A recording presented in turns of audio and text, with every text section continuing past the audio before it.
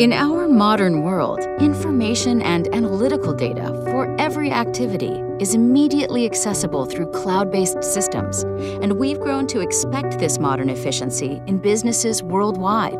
Yet in healthcare, requesters and providers still use inefficient and error prone manual processes when managing health data. Requesters contact hospitals and provider sites for patient records and wait weeks to months for the release of information process to be completed. Providers are burdened with expanding volume of requests, complex record systems, data security, and privacy regulations, when their focus should be on patient care.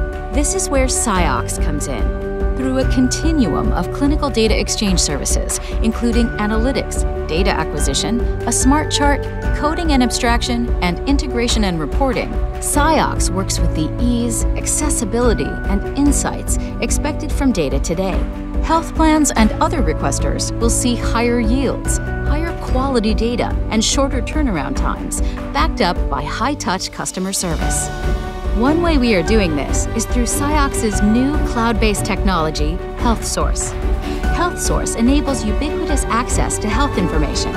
With swift technology, seamless connections, and nationwide coverage, HealthSource powers Ciox's end-to-end risk adjustment solution, boasting high-trust security for your enterprise's clinical data needs, intuitive viewing and search capabilities, automated document processing, data extraction, and data reuse. HealthSource allows health plans to unlock inherent value of clinical data and ultimately improve care coordination and care management. With 40 years of experience and trusted relationships across the healthcare spectrum, Ciox is dedicated to improving health decisions by quickly and securely sharing vital health information with the right people at the right time across an ever changing healthcare landscape.